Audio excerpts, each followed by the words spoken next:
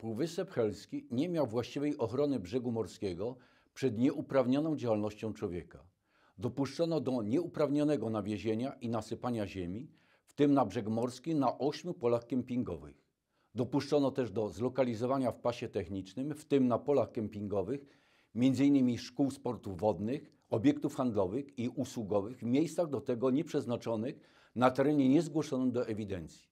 W sprawach sprzedaży nieruchomości bez wymaganej zgody dyrektora Urzędu Morskiego w Gdyni NIK skierowała dwa zawiadomienia do prokuratury.